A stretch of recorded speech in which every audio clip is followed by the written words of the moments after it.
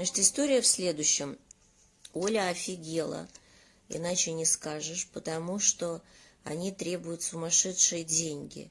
Значит, э, ну, в общей сложности, а они же и ребенка своего продали, я не знаю, сколько они там за Василису заплатили, но, в общем-то, они где-то 1350 в месяц получали.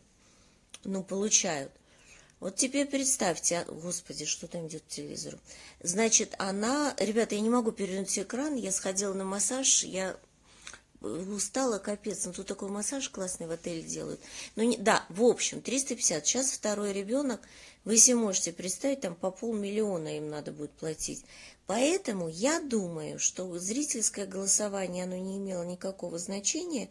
Это они так откупились, проект. Лучше вот дать им квартиру, а через какое-то время мы сейчас увидим, что они уйдут с проекта.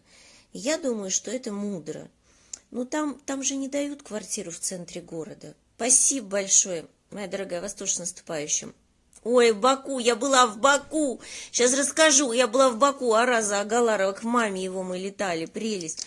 Значит, слушайте, поэтому там, знаете, такая квартира малогабаритная, ну, такие, ну, в новостройке, все, но где-то там на окраине – она малогабаритная, естественно, однокомнатная, поэтому они сдохнут вместе на той территории. Это, это надо обставлять. Во-первых, там эти маленькие квартирки скупают черти кто, я вам хочу сказать. Эту Олю потом так все достанут и Диму. Дима вообще без принципов. Я Димой разочарована. Потому что Дима предал маму.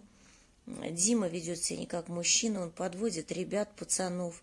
А там есть нормальные ребята на проекте. Рома, Господи, я прям забыла их имена. Ну вот Рома и с кем Рома дружит. Поэтому вот э, в чем заключается Олина победа. Не потому, что все так балдеют от Оли.